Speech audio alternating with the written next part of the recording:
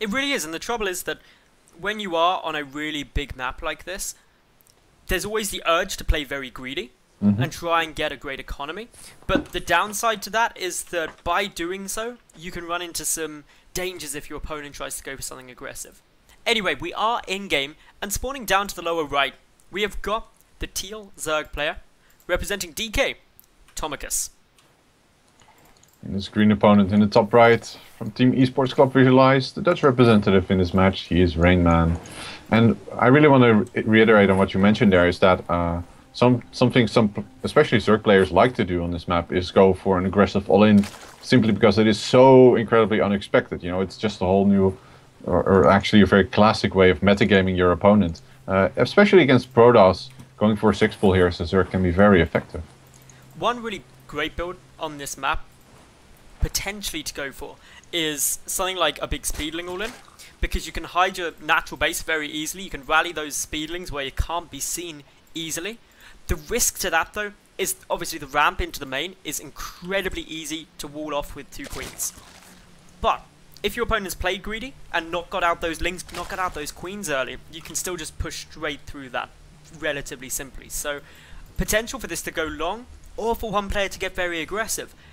But for the moment, it looks like they're both playing relatively macro orientated, especially Rainman, who's just going to go and take his natural, as is Yeah. Automachus.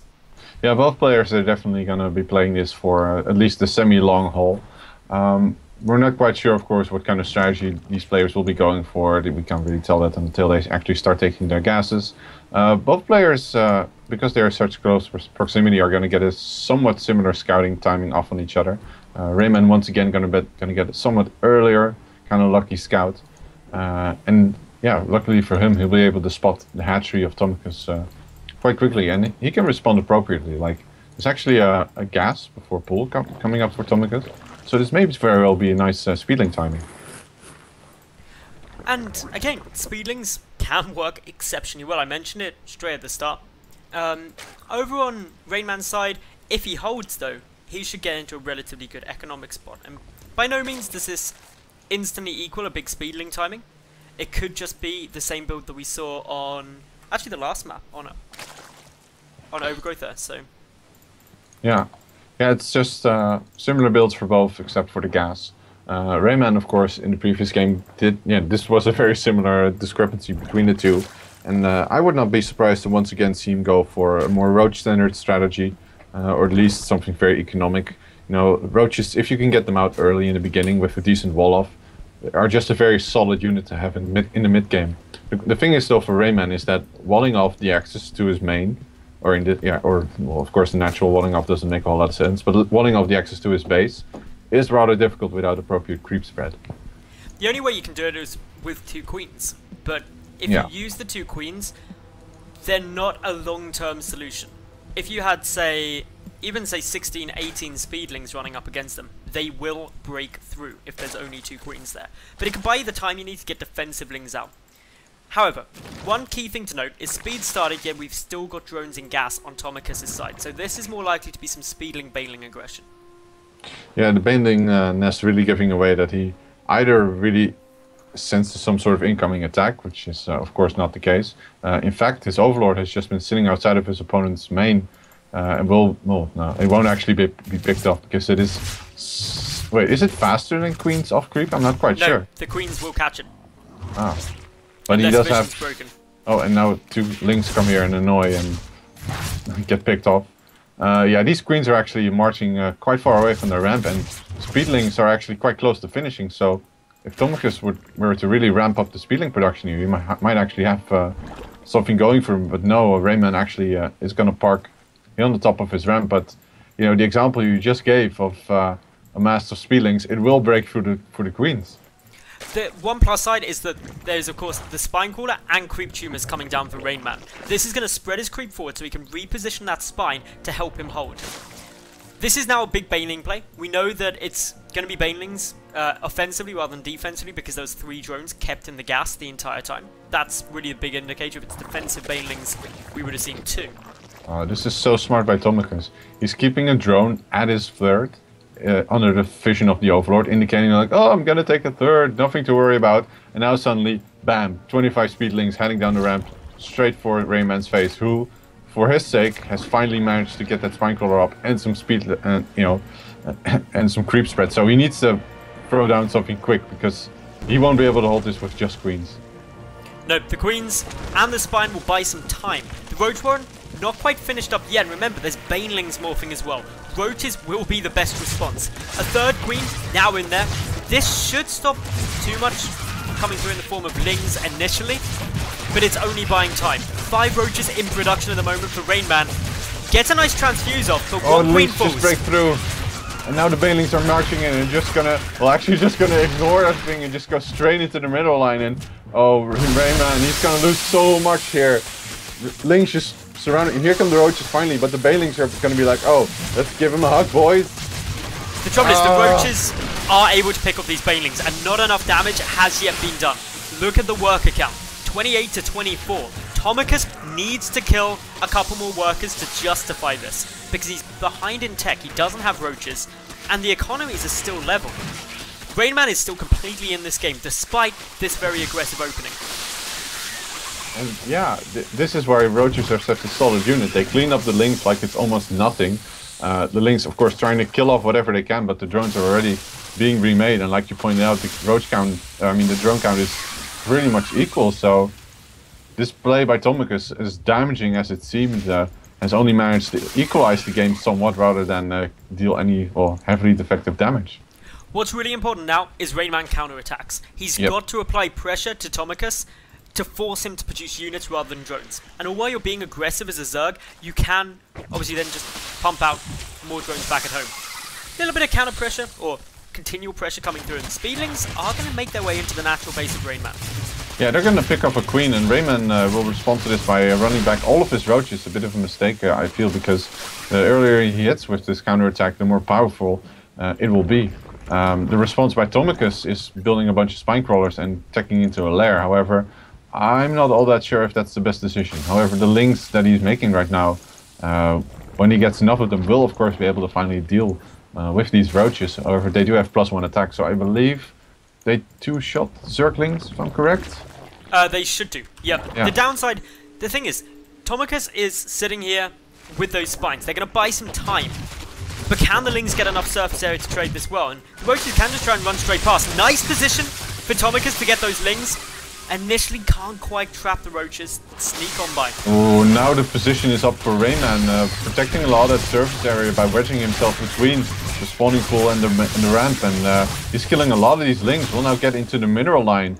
Uh, more lings here being produced by TomikuS, who cannot, of course, make mutas with this. And a great move by Rainman here, recognizes the fire and cancels it immediately, uh, meaning that he will be up so incredibly far in tech. The only tech that TomikuS now has, effectively, is Speedlings, those are the only units he can make the fight with. And they don't have any upgrades. The spines are going to help zone out more roaches, but the drone count is still in Rainman's favour. Rainman needs to consider one of two things now. Pump nothing but roaches and just go and kill TomikuS, which could be a very viable way to go. Alternatively, he's got to sit there and say, okay, I need to secure up a third. And already TomikuS is looking to go towards that third base, expecting that to be Rainman's plan. Yeah, there is a, third on the way for Rainman, and at this point, especially with two, plus two missile attacks finishing up, uh, why not both? Like, he can still attack with these roaches if he wants to, and force out more units rather than drones. Um, the gas count for TomikuS is, is just very, very low, and he will not be able to make all that many uh, mutas once these uh, once this finished spire finishes up. There's only uh, one downside to attacking with the roaches. Um, and that would be that if he moves out with these roaches while there's still the speedling threat, he could get his third base cancelled. Yeah. So it's kind of a risk of maybe doing some damage, but potentially losing your third. And remember, there's those three, soon to be six spine crawlers defending the main base of TomikuS.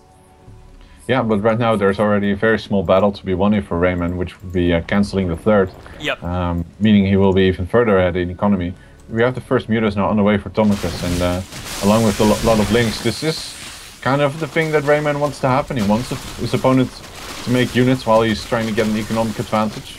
Um, Ooh, but no he cancel. needs to no cancel indeed. That's a pretty big hitter for TomikuS, and Rainman needs to work on his tech as well. He is getting Swarm Host, uh, or at least an Infestation Pit, and adding on a couple Spore Crawlers uh, in defense against the Mutas.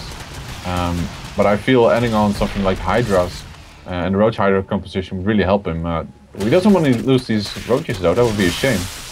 The roaches are buying some time though to get those spore crawlers down. The concern is what's behind this. The lings are quite threatening. Luckily though, there's a ton more roaches in the queens back at home for Rainman, who does have his third up. The muta count is only at 8. That's not really a scary number yet.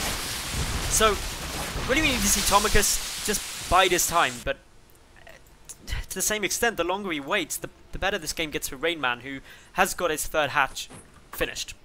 Well, TomikuS has actually managed to catch back up in the drone count. Uh, it seems Rainman has been focusing perhaps a bit too much uh, on teching and uh, flushing out his army. Uh, he has a pretty hefty roach counter uh, at this moment is actually adding on infestors as a counter, counter to the mutas. He's also heavily upgraded his roaches, which is why I think uh, transitioning into hydras would actually be a good idea. Yep. Because you have such a beefy, or such a powerful army at your disposal at that point. Great move here by TomikuS. He's taken a hidden base down to the lower left. And this is one way that he can try and stay in this game. Having a hidden base just gives you that extra income. Not going to be too useful for production, but since it is a Mutalisk style strategy, you can still produce out there with Mutas and get them back to obviously your main army slightly quicker. But the concern is always going to be around those infestors. And Wyman, do you think we're going to see those fungal growths hit like they need to? Well, I was uh, looking at the production tab and thinking that, oh, he's getting Burrow, but wait, it's actually TomikuS who is getting Burrow. And I'm not quite sure what he wants to do with it. Burrowed Mutalisks, man, new meta. Yeah, that, that's the only thing I, could come up with. But uh, yeah, if you can hide Oh, the fungal! Oh, already! So quickly. And he's got another one to follow it up. And he only catches two of them, though. Just a bit too slow there on the trigger finger. But uh, that was exactly what we wanted to see from Rainman. And uh, next time, if he has a few more infestors, uh, he'll be in an even better spot. And TomikuS, well, he has been warned. The infestors are just such a threat. And to be honest, TomikuS got off probably a bit lucky there. He could have lost the vast majority of his mutas, and if they died, it almost definitely would have been the game there and then. So, what it comes down to now is TomikuS needs to be exceptionally cautious with those mutas. A chain fungal on a flock of them, and that's the game over. TomikuS is really going for the long haul, it seems here. Oh, wants to be careful. Almost catches him. A queen there, nice job. Uh, the infestors now almost, uh, well, in a pretty significant count at 7 already. And Rainman is actually moving out. Oh, catches quite a few of them here with these fungals. Needs to launch another one or it'll just fly away. And uh, he catches a few more. Overseer providing vision and uh, he will catch these mutas and a nice job. Not as many as he could have done, and I'd say no. that's one potential area. Um, TomikuS is getting quite lucky in. If you're chain fungling, never let... Oh, come on. Oh, Rainman, come on, what are you doing? Oh, he loses so many of his queens. That, that's the damage he needs. Uh, does he have burrow? If he loses these queens, no, what does he have to actually fight these mutas? Well, he, he can chain fungal. He's got he's got enough infestors. Well, he's got a few, but if TomikuS just splits his mutas, he can focus them down really fast, and then this roach army is kind of for. Oh wait, there's swarm hosts. This is a problem for Rainman. If he loses the overseer, he can't fight them. He's moving straight. He does have fungals, remember, so he can use that to try and get it. Oh, oh no, he's oh no, he's wasting all of his army on the infested Terrans, uh, which are on the timer, of course. They will get uh, taken out actually by the Swarmhost, and I'm not sure if I like this move by Rainman. Of course, he's doing a ton of damage here, and TomikuS cannot really retaliate all that efficiently. However, he's losing all of his infestors slowly. There's not enough swarm hosts to be a massive threat. There's only three. That's six locusts, and there's so many roaches. But yeah, He's just gonna shove his entire roach force down the throat of TomikuS and kill everything, uh, completely disregarding this Muta force, it seems. The oh infestation pit, if he doesn't think he can end, needs to get taken down. That's quite a big target.